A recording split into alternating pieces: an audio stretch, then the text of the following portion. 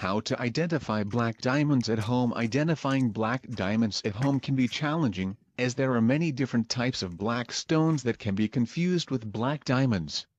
However, there are a few things you can do to help determine if a black stone is a diamond or not. Conduct a scratch test. One of the most reliable ways to determine if a stone is a diamond is to perform a scratch test.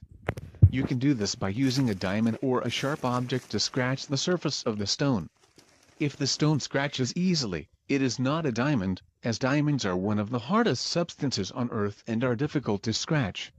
Check for reflections. Diamonds are highly reflective, so you can check for reflections by shining a light on the stone and observing how it reflects the light. If the stone reflects the light in a way that creates a rainbow effect, it is likely a diamond. Look for inclusions. Most diamonds have some imperfections or inclusions, and these can be visible to the naked eye. You can use a magnifying glass to examine the stone for any visible inclusions. If the stone is a black diamond, it may have small white or gray inclusions that can be seen under magnification. Conduct a water test. Diamonds are denser than most other stones, so they will sink in water.